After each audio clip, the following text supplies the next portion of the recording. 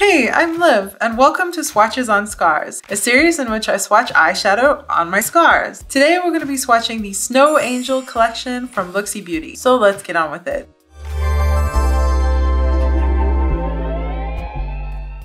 So I also brought up my entire Looxi Beauty collection because I see some similar shades here and I'm curious how similar they are to other stuff. Unfortunately, I have quite a lot of Looxi Beauty stuff. A lot of it's also combined in these four palettes and then I dropped one of them. So I smashed two shades. I'm very sad. I've repressed them, but that's a kicker about Looxi Beauty stuff is that their shadows are extremely soft. One of their shadows is in my Ultimate Travel Kit, so it's a little dodgy, like there are little flakes of it that flows around sometimes. You cannot drop your palettes. And I drop mine a lot. I do. I'm not a gentle, careful person, unfortunately. Anyways, I literally just got this collection yesterday. It arrived. I'm wearing every single color on my eyes today. There are seven shades and I managed to get every single color on. I will show you. This is what they look like. They're very beautiful. It's not necessarily what I would have thought when I read the title Snow Angel, but there's definitely a shift in some of them. Perhaps you can see they're, they're very beautiful and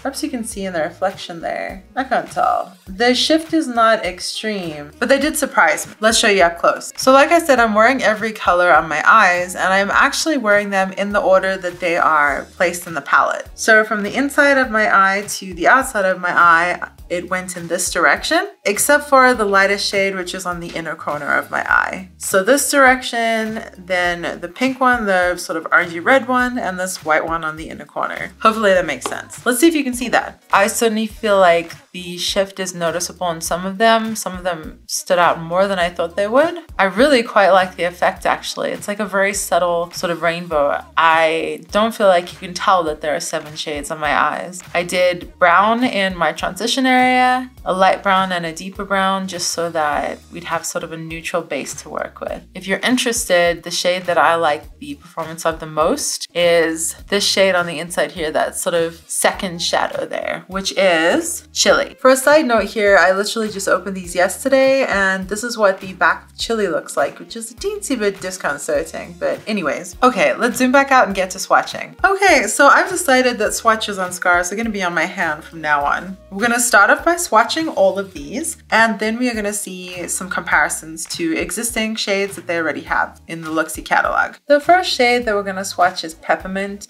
This is sort of a light ice blue looks like to me. There's a slight shift, but I can't entirely tell what it is. It's almost opalescent. Looxi Beauty shimmers seem to come in two different forms. There are the glitter packed larger microparticle ones that are very chunky and very, very fragile. And then there are sort of the tightly packed shimmers that still have a great deal of sparkle to them, but they're not as fragile. They are more tightly pressed and not as complex on the eye though, but let's see what this looks like. All right, I'm gonna swatch that. I'm actually gonna swatch it over here so we can make sure to fit everything. Right over there. Very, quite an opaque sheen really for such a light and transparent sort of shadow. And looking at it now, it is a blue to gold shift. That is really interesting. Blue to gold. The next shade that we have is Chilly, and this is very beautiful. If you know the Looxi catalog, this might seem like a similar or familiar shade for you. For me, it certainly looks like it, but I do think it performs remarkably on the eye. This is, I think, the one that I love the most. We will see what we have that is similar because I certainly have many that look like this, but this is like a blue blue lavender, like a grayish lavender sort of sheen. It's very interesting. This is an especially interesting sort of formula because it seems like a mix between that more tightly pressed and the more heavy glitter particles. So, or perhaps it's more that it's opalescent, but it's it's got a lot of punch in it is what it looks like. So we'll put that right underneath peppermint right over here. Can you see that? Definitely a lot of punch in it, right? I mean, that is not shy at all. It's standing out so much more. It's absolutely gorgeous. You see that sort of crisp purple and bright blue sheen. Very gorgeous, very gorgeous and not a wallflower. My finger is still sparkly. The next shade that we have is called Winter Moon. And this one, it almost looks like a more blue version of Peppermint. Like next to this Peppermint actually does look a little greeny blue. And this looks like a pure blue with nothing else in it. Yeah, it oddly seems to have a little bit of a sheen, like a, a deeper blue. It's like the sheen or duo duochromeness is light blue to deep blue, which is weird. And this is certainly one of the more tightly pressed shimmers. I will put that underneath the Chilly right over here. And wow, that is beautiful. Oh my goodness, that is really beautiful. Gosh, look at that. Isn't that a gorgeous compilation? Look at my finger. Can you see that? That is phenomenal. That must be the shade that I really like. Yeah, I would I would certainly say so. The shade that's sort of right here in the middle of my eye. That is that that's sort of a hidden gem right there because it does not at all look that complex. I'm sort of just swiping on here because there's so much on my finger, but it does not at all look that complex and it really is. It's beautiful. There's definitely some more mica particle in there and that sheen, that opalescent sheen is gorgeous. Do you see what I mean? How it shifts from light blue to dark blue? Pretty cool, right? All right, our next shade is called Sugar Plum and it is actually sort of a plummy shade, which is nice and appropriate. I don't see see much sheen. It kind of reminds me of Painted Lady from their last release. So let's see. It's definitely a warm purple, a plummy. This is that sort of tightly pressed shimmer formula. And we will place this right underneath right over here. Let's see how that performs. Wow. Oh, my hand looks amazing. I love this. This is sort of something that I enjoy about swatches on scars is that this is a very unusual surface to swatch on and I find it interesting to see what formulas allow the scars to show through. Like you can see that this shadow right here, the scars are showing through quite significantly, but both of these two, the last two, Winter Moon and Sugar Plum are, are covering very very well. And yep, look at my finger. Those are really fantastic formulas. My finger is molten and it's not the same kind of glistening, thick, chunky formula of Give Me Glow, but it's equally opaque really in, in a lighter way.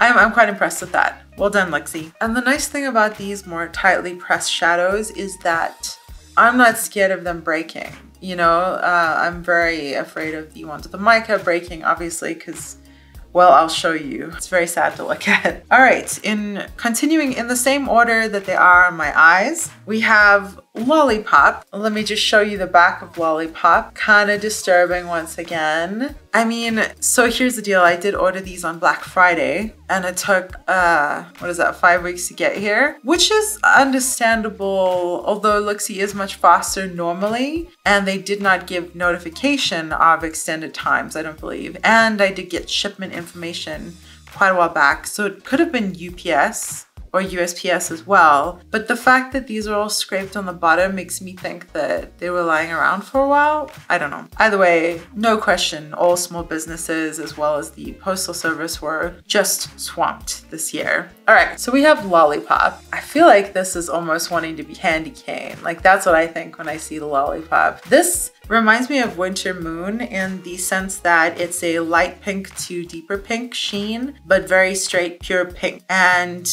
gosh, it's yummy looking. I have a couple pink shadows. I have one from Give Me Glow and just, I don't love them on my complexion. So it would be cool to get some use out of this one and see if I can make it work. And we'll put this right over here.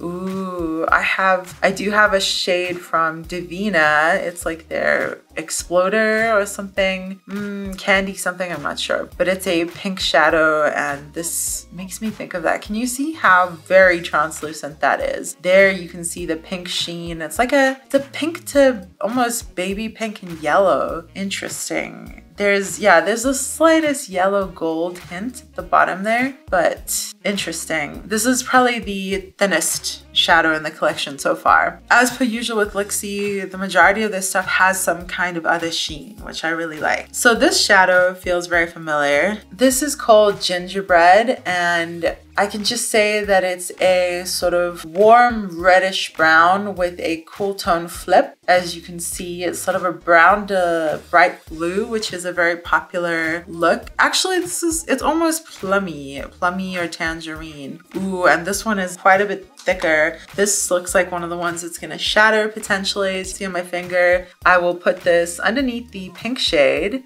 uh, which I can barely even see. If I go like that, I can see that there. And oh my goodness, do you see what I mean? I mean, do you see that? Oh, jeez. Oh my gosh, I'm in pain. It's so pretty, it hurts. Oh my goodness. Let's look at my finger. Ah, oh, please. Just so you see that brownie blue sheen, that sort of very common flip brown to blue, but the way that these are made, I mean, that's extremely bright, I, almost blinding. It's That's fantastic. Oh, even further back, that looks excellent. It looks, certainly looks like more of a peach to cool tone shift. Unique, lovely, like it a lot. And then our final shade of the collection is Snow Angel. I mean, I have no idea what this is. Just looking at it. On my eye, it shows up as a light golden white. Uh, which is very cool. It's very cool. It's one of those really hard press. It almost feels like pure snow. And looking at it in the pan, there's an interesting cool tone shift. So perhaps if I show you my finger, you can see the gold there, but there's a bit of a cool tone to it as well.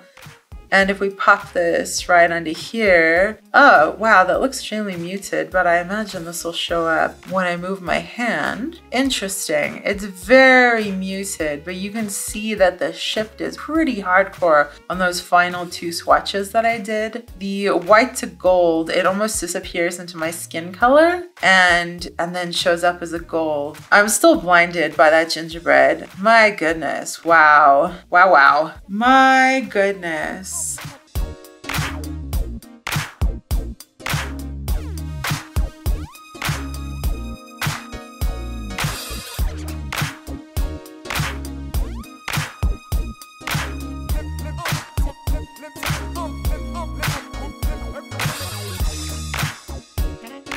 Okay, wow, we have some serious similarities here. For the first one, let's do peppermint. So we'll go in order. We have peppermint. Actually, let me hold them up next to each other. Over here we have peppermint and here we have limelight. As you can see, Limelight is much lighter, but there's still a sheen to it. They both sort of have a similar sheen in a way. Peppermint is more blue and Limelight is a beautiful bright green highlight that I use often. I will put Limelight over here and then we will swatch Peppermint underneath it. Put Peppermint over here. Interesting. Isn't that interesting? They look really similar. Gosh, they look really similar. You can't even tell how much lighter Limelight is just because it's light in the pan. It looks very similar on the skin. As I mentioned, we have Limelight here and Peppermint over here. Limelight, I'm not gonna say left or right, I can't figure that out. very interesting, very similar shifts everything really quite similar. And let's see if it looks different to you from a little further away. It does for me. They look a little warmer toned, but still extremely similar. Okay, the next shade that we have is the one that has kind of the most dupes going on. And some of them are, well, let's just, let's just do this. So I'm not sure if I can hold this all up, but we have Chilly. And then we have Screwball, which certainly looks a bit more blue right now. And then we also have Frostbite. Screwball and Frostbite were from the last year's releases. Gosh, these look similar. Chilly and Frostbite, don't they? But there is definitely something about Screwball that still looks similar. Screwball is in the middle right now. I can barely hold these, so I'm gonna stop doing this.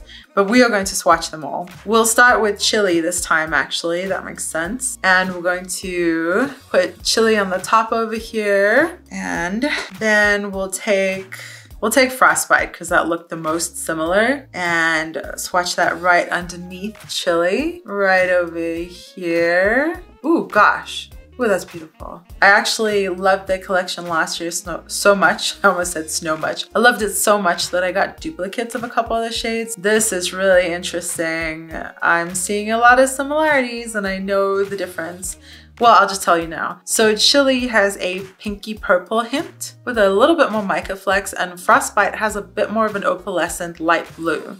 So there's a difference but they're very, very similar. I'm not sure if that's showing up, but we'll do uppy closey in a moment. Next, let's pop Screwball right at the bottom. And Screwball I actually have, I have two of. Ooh, gosh, I swatched that quite a bit. I love this shadow so much. I think you'll see why in a second. What even? I mean, look at that. Are you blinded? It's not one of their fragile ones, but it is uh, blinding. Blinding nonetheless.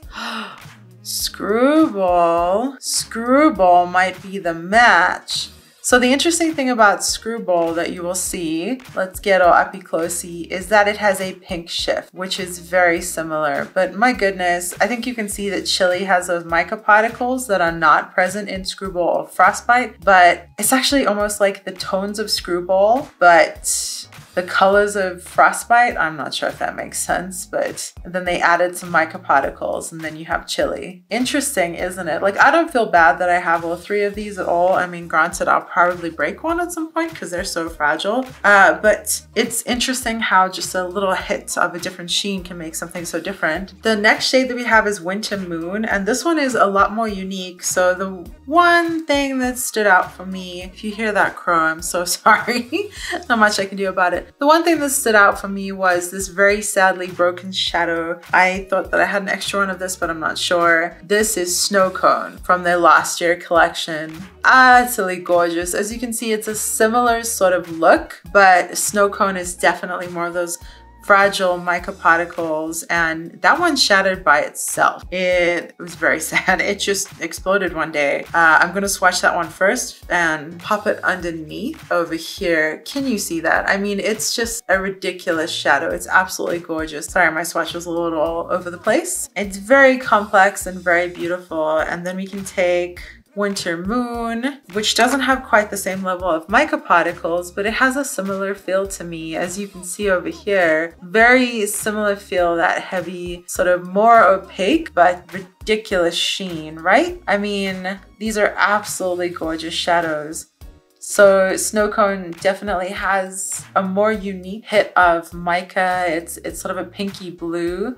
And then winter moon has that odd cool tone blue hit. They both have a good amount of mica chunks and winter moon's chunks look to be sort of yellowy gold and snow cones are pinky opalescent.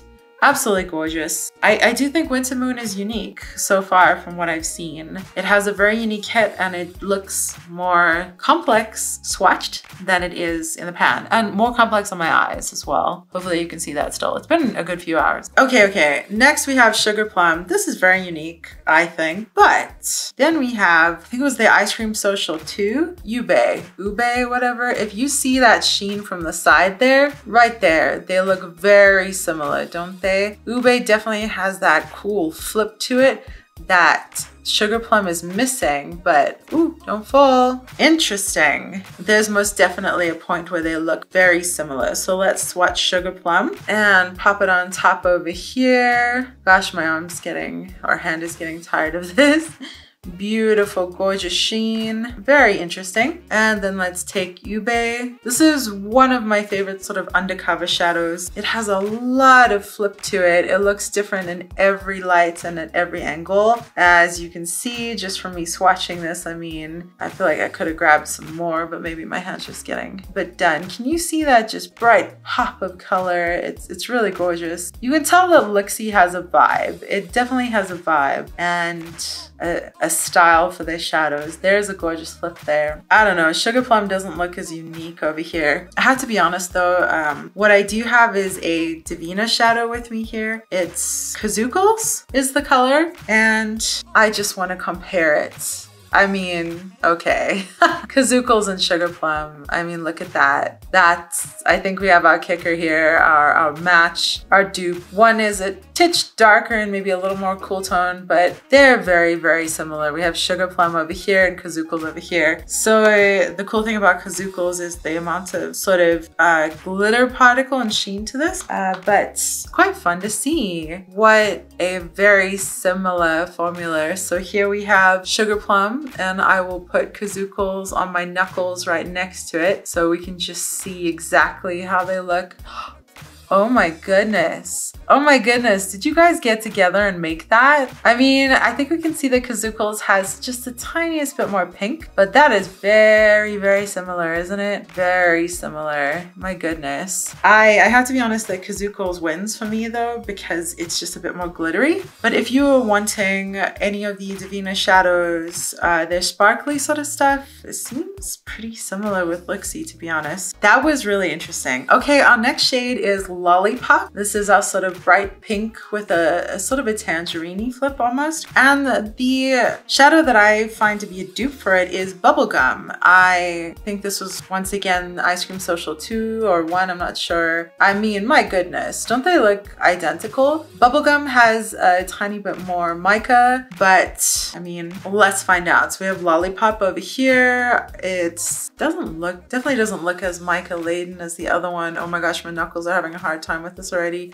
The problem with swatches on scars, huh? So we can see that that's just a very light pink sheen. I, I want to swatch it a little more so that we can have enough of a comparison. Yeah, it's like very light pink sheen. If you're looking for a baby pink sheen, that's Lollipop. And then Bubblegum is very interesting. As I said before, I'm not the hugest fan of pink. I have a hard time with my skin tone, I don't know. But Bubblegum, I sometimes use, let's see where I can put this, in my inner corner or on top of stuff because it has such a cool tone flip as well. I don't know if you can see that, but it's like, well, I don't know now. I don't know. Now they look identical now that I'm looking at this. Yeah, I thought Bubblegum was way more cool tone, but they both look like very similar with Lollipop just being lighter. Like Bubblegum is the deeper version of Lollipop. Those look really similar to me. Don't they to you? I mean, really, really similar. Once again, their eyeshadows are very affordable. I love a lot of the colors. They're very transformative, so you can put them over things, put them over other shimmers, uh, or even over other mattes, and they look fantastic. Okay, let's keep going. What we have is Gingerbread. And then this was not one of their collections, I don't think, or if it was, maybe it was the Butterfly collection but this is hybrid. I think that it was their normal. So gingerbread and then hybrid, and hybrid was just recently a casualty of getting dropped. As you can see, it's sort of been repressed a little bit. I don't think, I don't think that's enough of, that's not similar enough. So let's look at something else. Other options are Flutter. That looks very similar. And that was from the Butterfly collection. And then we also have Skyflower that I think was also Butterfly collection. I think those look much more similar, so let's try swatch those. First things first, gingerbread, and we will pop that on top over here, right there. Then we'll grab some Skyflower. Oh, ah, that feels lovely and soft and pearlescent. And we're gonna put Skyflower right next to it. Wow. Wow, wow, wow. Gingerbread has more mica than Skyflower, but that looks really similar. And then our next is Flutter, and this is looking less similar already, and we'll put that underneath Skyflower over here. I mean, there's a vibe going on here, and they all have it. I would certainly say that Skyflower and Flutter seem more similar than anything. Gingerbread, because of that heavy mica, is just pretty gorgeous on its own. That's really lovely. So, not as much of a dupe with Gingerbread but Skyflower and Flutter. Okay, so finally we have Snow Angel, which is this bright white golden hit. If I'm thinking of tones, then Nectar from their Butterfly collection is like the grown-up version. Um, perhaps you can see Nectar has more of that punch of, of gorgeous golden hit, and Snow Angel looks like bright white, but it isn't. But then if we're coming to a sort of a formula, then we have Walk of Shame, which is part of their regular collection, I believe. And it's almost like the cool tone version. I, I mean, not almost, it, it just is. At least in the pan, let's see what it looks like. If I put Walk of Shame over here, we have this bright cool tone shadow. And then if we put Snow Angel just above it, right over here, we have a golden bright shadow. Can you see that? They feel very, very similar to me. Although Snow Angel's certainly lighter and brighter. Let's try a little bit more Walk of Shame and pop that under there. No, okay. Walk of Shame certainly feels like that familiar blue, lavender blue, purple, but these are definitely different, definitely different. Similar, similar feel though, if you see what I mean. So it certainly seems like Snow Angel is very unique and Winter Moon is very unique. Uh, that's interesting. But there are a couple solid dupes. I mean, very interesting. Okay, well, that was fun. And that is all. I know everyone else has had their videos out from this for a while. Hopefully this gave you some more information on how these perform, how they look. As per usual, I think Looxi Beauty is extremely affordable if you want something unique and different. Some really gorgeous formulas. It's hard to go wrong. They're just very fragile sometimes. If you like this video, found it fun, interesting, informative, whatever, I hope you hit subscribe down below. Let me know what you think and give us a like or dislike, whichever corresponds with how you feel. Wherever you are, I hope you're having the best day that you possibly can. Be kind to the people around you, and thanks for hanging out.